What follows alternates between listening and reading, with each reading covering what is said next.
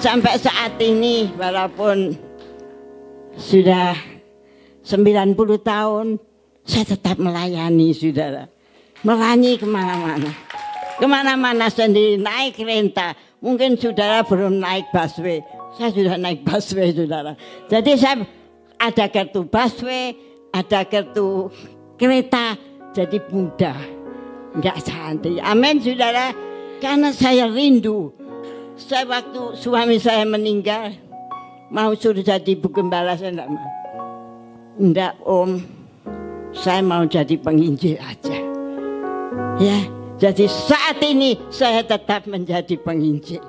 Saya di, saya tidak mau jadi bekas hamba Tuhan. Walaupun suami saya meninggal, tapi saya tetap melayani.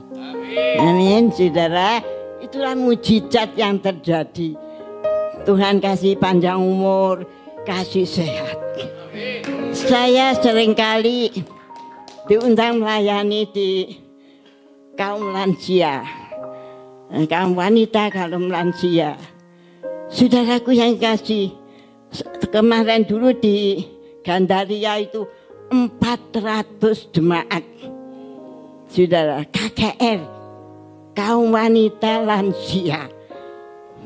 Tapi yang paling tua, saudara, tidak ada ditanya. Siapa yang umur sekian? Ada. Yang umur 90 hanya saya sendiri, saudara. Iya benar. Aduh, puji Tuhan. Terus saya memberi tema, saudara. Lansia, semangat, bahagia, berguna. Jadi kalau tiga hal ini, saudara, yang saya miliki itu hidup saya masih berguna. Amin. Hingga saat ini penginjilan tidak berhenti, saudara. Tanggal 7 saya diundang ke eh, Jogja. Ya, ke Jogja. Bukan di kotanya, saudara. Di apa itu namanya? Wonosari. Kulon Progo, Kali Urang, itu sudah daerah saya, saudara. Terus saya begini, apa perlu aku bawa tim? Enggak usah, umat sendiri aja. Jadi saya naik kereta sendiri, saudara. Tapi nanti nanti dijemput. Saya semua ke mana-mana sendiri. Tadi ada ibu-ibu. Oma kalau kalau di Klender sebelum saya begitu saya muncul dengan pegawai sudah dijemput kan naik lift. Terus ada ibu, Oma mau ke mana? Mau ke kota. Gitu. Sendirian sama Tuhan. Sama Tuhan. Jadi wal dulu masih pelayanan. Saya mungkin 20 tahun saya kecimpung di daerah sukarela itu, saudara. Itu kalau pulang jam 11 malam, ya 11 malam. Tapi kalau lama-lama saya tidak boleh, saudara. Jadi kalau malam suruh nginep, wah kalau nginep saya tidak bisa. Karena kita harus manggil bagi waktu. Besok saya melayani di penjara. Jadi penjara mana saja saya bisa masuk. Karena ada kartu khusus dari kaki. Penjara mana? Ya, penjara Karisosok Surabaya. Di penjara mana itu? Yang buangan itu mana itu? Cilacap, Nusa Kambangan. Itu saudara, itu yang saya kerjakan. Jadi minggu sampai minggu tidak ada prei. Hanya hari Sabtu saudara saya istirahat. Tapi kalau ada yang panggil tetap kita berangkat. Ada yang sakit, ada ini. Kadang-kadang tengah malam. Oma, tak jemput tuh. Mau ke mana? Uh, kenduran sawit. Ngapain? Ada ini, ini, ini, ini. Ya oke. Okay. Jemput tengah malam saudara. Saya berangkat. Tengah malam itu saya berangkat. Karena Tuhan suruh, saya sudah janji. Selama saya masih bernapas, selama saya masih dapat berjalan, aku tetap menjadi pengerjamu. Walaupun banyak tantangan yang saya hadapi, tapi Tuhan adalah pembela saya. Yesus segala-galanya dalam kehidupan saya. Sampai saat ini saya masih dalam penginjilan. Ke mana pun Tuhan suruh aku berangkat. Kalau tidak disuruh, suruhlah aku. Amin. Amin. Tepuk tangan Tuhan Yesus. Kita, tadi merasa bangga. Saya tanya, loh ini menara, menara doa apa umum? Menara doa Uma. Waduh luar biasa. Menara doa yang datang seperti uh, kebaikan umum. Saya belajar di gereja kita tidak ada seperti di sini. Paling-paling 30 orang, 20 orang yang banyak ibu-ibu. Tapi saya lihat di sini Tuhan bekerja luar biasa. Karena melara doa adalah tiang-tiang gereja. Segala-galanya di atas loh.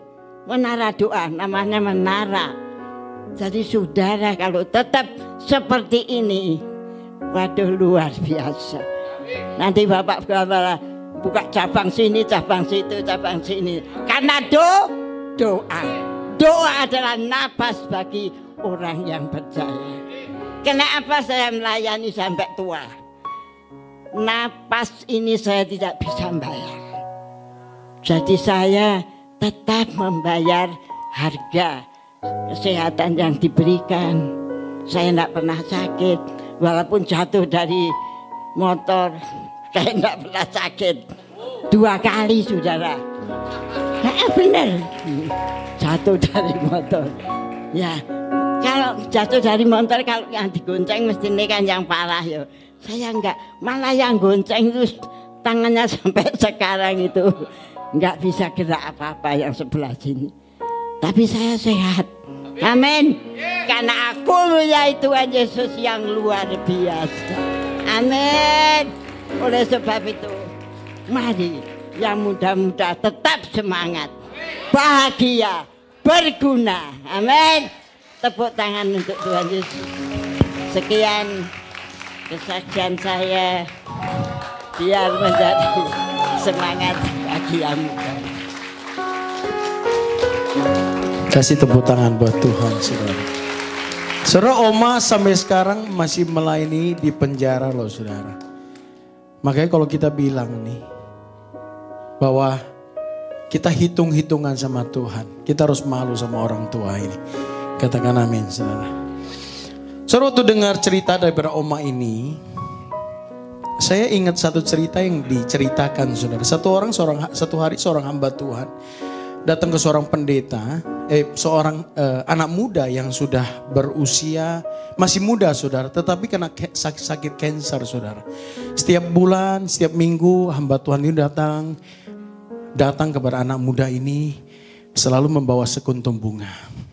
Ditaruh di tempat itu dan dia terus kunjungi dengan setia. Nah satu hari saudara dia datang dengan dan anak muda ini bilang begini, satu saat dia bilang gini, Pak Pendeta, doakan saya. Kalau saya sembuh, saya akan melayani Tuhan. Saudara, lalu minggu depan hamba Tuhan ini bawa lagi seguntung bunga yang tetapi sudah layu. Lalu dia mulai mendoakan anak muda itu. Setelah mendoakan dia mau pulang. Tetapi waktu dia mau pulang, anak muda ini bilang, Pak Pendeta, saya mau tanya, kenapa kok pendeta hari ini bawa bunga yang sudah layu? Tolong duduk sini kasih tahu saya. Tolong duduk sini kasih tahu saya. Lalu pendeta itu mulai duduk. Dia bilang anak muda. Dulu waktu kamu sekolah. Disuruh melayani pemuda. Kamu bilang ah masih gak bisa. Saya masih sekolah. Setelah kamu lulus. Lalu kamu diminta untuk melayani pemuda lagi. Kamu bilang begini gak bisa. Sekarang saya lagi sibuk kerja. Tetapi begitu kamu sakit. Kamu baru bilang Tuhan kalau aku sembuh aku berikan hidupku bagimu. Kamu memberikan sekuntum bunga yang sudah layu kepada Tuhan. Di saat kamu masih segar, kamu tidak persembahan bagi Tuhan. Kamu memberi yang bekas buat Tuhan. Saudara anak muda ini tertegun saudara. Saudara hidup kita juga sama. Hari ini mumpung kita masih sehat saudara. memberi yang terbaik bagi dia adalah kewajiban kita bagi dia. Saudara saya beritahu saudara, kita nggak bisa hitung kebaikan Allah. Saudara bisa hitung? Setiap nafas yang kita nafas itu nggak bayar saudara. Saudara bisa hitung? Saya saya beritahu kita jangan hitung-hitungan sama Tuhan. Ngomong sama kiri kanan saudara, jangan hitung-hitungan. Jangan kasih Tuhan sekuntum bunga yang sudah layu. Tetapi selama engkau masih segar seperti Oma saudara masih masuk penjara saudara. Saya kadang-kadang oma ini jalannya gimana? Dia tetap lakukan saudara. Setiap minggu dia ke rumah saya. Berdoa buat saya dengan Bu Acan, dengan tim yang ada, Pak Allen. Setiap minggu saudara. Beri kemuliaan bagi Tuhan. Terima kasih Oma. Aku Bo ya diberkati sama kesaksianmu. Luar biasa. Baik saudara, eh, kita akan eh, baca visi saudara.